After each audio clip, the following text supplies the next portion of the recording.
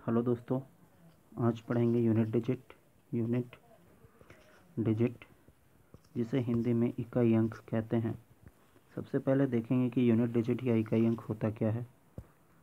मान लो कि मैं आपको बोल दूँ कि आपको तेरह गुना बारह का यूनिट डिजिट बताना है तो आप तेरह गुना बारह करेंगे, होता है एक सौ छप्पन। एक सौ छप्पन का जो छः है, यही इस तेरह गुना बारह का यूनिट डिजिट है। अभी आपको इतना भी करने का ज़रूरत नहीं था आप ये देखो कि तेरह का यूनिट प्लेस में कौन सा नंबर है? तीन है।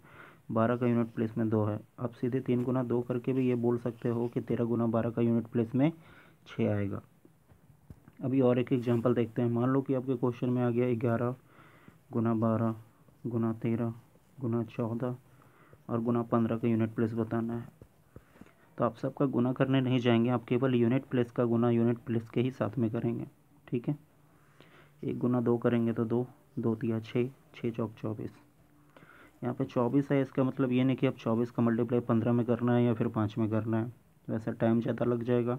आप ये देखो कि चौबीस का यूनिट प्लेस में कौन सा नंबर है? चार है, और पंद्रह का यूनिट प्लेस में पाँच है। अब चार गुना पाँच करेंगे, होता है बीस। बीस का यूनिट प्लेस में ज़ीरो है। मतलब इस सीरीज़ का यूनिट प्लेस में कौन सा नंबर आएगा? ज़ीरो। अभी आप सीरीज़ वाले क्वेश्चन को और भी शॉर्ट फॉर्म में बना सकते हैं, वो भी मैं आपको बता देता हूँ। कभी भी यूनिट प्लेस में फाइंड करने के लिए बोले और सीरीज़ वाला क्वेश्चन रहे तो आप सिर्फ़ वहाँ पे इतना देखो कि क्या किसी भी दो नंबर को मल्टीप्लाई करने से ज़ीरो आता है तो आप यहाँ पे देखो चार गुना पाँच करने से बीस होता है, और बीस का यूनिट प्लेस में है ज़ीरो और आपको मालूम है कि ज़ीरो का मल्टीप्लाई किसी भी नंबर पे करेंगे तो वो ज़ीरो ही होता है। तो आप सीधे इसका आंसर ज़ीरो दे दो, ठीक है? अभी बात करते हैं हम लोगों को कौन कौन सा नंबर का यूनिट प्लेस फाइंड करने के लिए सीखना है। चार पाँच, छ, सात, आठ और नौ। अभी हम लोगों को ज़ीरो से लेकर नौ तक का यूनिट प्लेस फाइंड करने का सीखना है कि क्या रूल होता है। सबसे पहले बात करेंगे ज़ीरो, एक, पाँच और छः का। ये ऐसा नंबर है, ज़ीरो, एक, पाँच, छः। ये ऐसा चार नंबर है जिसका यूनिट प्लेस हमेशा सेम रहता है। एग्ज़ाम्पल के तौर पे अगर मैं आपको बोल दूँ कि पाँच का पावर एक सौ पाँच है, आपको इसका यूनिट प्लेस बताना है। पॉसिबल तो है नहीं कि पाँच को आप एक सौ पाँच बार मल्टीप्लाई करके चेक करेंगे कि इसका यूनिट प्लेस में कौन सा नंबर आ रहा। आप देखिए कि पाँच का पावर जो भी हो, वो मैटर नहीं करता है। इसका यूनिट प्लेस पाँच ही होगा, क्योंकि आपको मालूम है कि ज़ीरो, एक, पाँच और छः का पावर अगर मैं करोड़ों में भी बिठा दूँ तो भी उसका यूनिट प्लेस सेम ही रहेगा। ऐसा क्यों होता है? ज़ीरो का पावर आप कितना भी बैठा दो तो वो तो ज़ीरो ही होगा। वन का पावर आप कितना भी बैठा दो तो भी वो वन ही होगा। पाँच का देख लेते हैं। पाँच का पावर अगर मैं एक बिठाता हूँ तो होता है पाँच। पाँच का पावर अगर दो बिठा देता हूँ तो होता है पच्चीस। पाँच का पावर अगर तीन बैठा देता हूँ तो होता है एक सौ पच्चीस। पाँच का पावर चार बैठा देता हूँ तो होता है छः सौ पच्चीस। अब हर हाल में देखो यूनिट प्लेस में पाँच ही आ रहा। ठीक है? अभी मैं आगे भी बढ़ जाऊँगा तो भी पाँच ही आएगा यूनिट प्लेस में। यही चीज़ बिल्कुल छः के साथ भी होता है। तो आप सीधे याद रखो कि ज़ीरो, एक, पाँच और छः ऐसा नंबर है जिसका यूनिट प्लेस हमेशा सेम ही रहता है। ठीक है? ज़ीरो, एक, पाँच छः हो गया। अब बच गया दो, तीन, चार, सात, आठ और नौ। ये ऐसा नंबर है जो चार के बाद अपना यूनिट प्लेस को रिपीट करते हैं। ठीक है?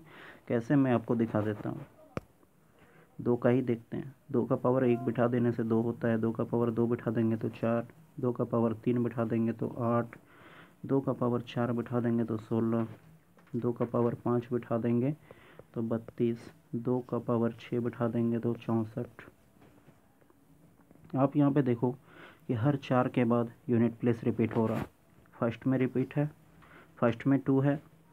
पाँचवें नंबर में भी टू है। सेकेंड नंबर में फोर है। छठे नंबर पे भी फोर है। इसका मतलब क्या हुआ कि दो, तीन, चार, सात, आठ और नौ। ये ऐसा नंबर है जो अपना यूनिट प्लेस को चार के बाद रिपीट करते हैं।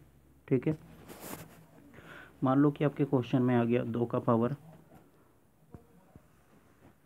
दो का पावर चार सौ इक्कीस है। आपको मालूम है कि दो ऐसा नंबर है जो अपने यूनिट प्लेस को चार के बाद रिपीट करता है। दो का पावर चार सौ इक्कीस है।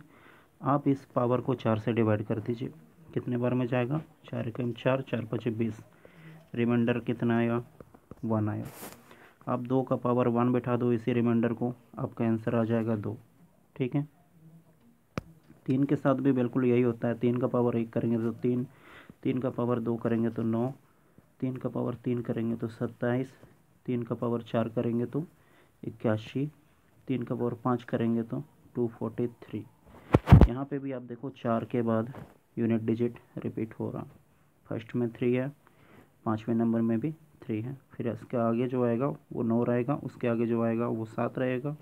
ऐसे ही रिपीट होता है, ठीक है? बहुत से वीडियो में आपने देखा होगा कि चार और नौ का अलग फंडा बनाते हैं, ठीक है? मेरे हिसाब से आप दो, तीन, चार सात, आठ और नौ का एक ही तरीका याद रखो। क्या तरीका? कि ये ऐसे नंबर हैं जो चार के बाद अपने यूनिट प्लेस को रिपीट करते हैं। इनका पावर जितना भी हो, आप उसको चार से डिवाइड कर देख सकते हैं। जितना भी रिमाइंडर आएगा, आप उस रिमाइंडर को ही उस नंबर पे पावर लगाकर ये पता कर सकते हैं कि उसका यूनिट प्लेस में कौन सा नंबर आएगा। ठीक है? अच्छा चार और नौ का अलग फंडा क्या है, वो मैं आपको बता देता हूँ। चार का पावर एक करते हैं तो चार। चार का पावर दो करते हैं तो सोलह, चार का पावर तीन करते हैं तो चौंसठ, चार का पावर चार करते हैं तो दो सौ छप्पन और चार का पावर पाँच करते हैं तो एक हज़ार चौबीस।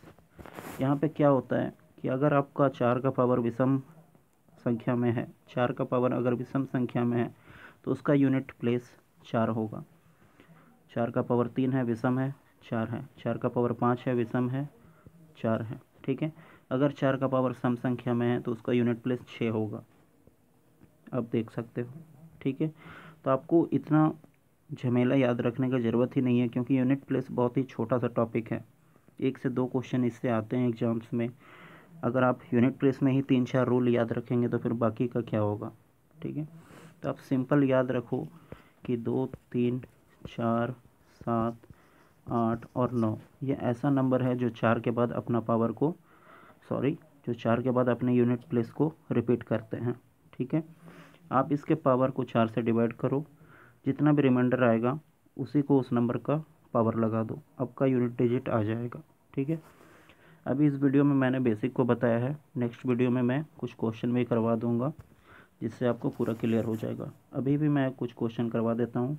जैसे चार का power two five six two five है, ठीक है?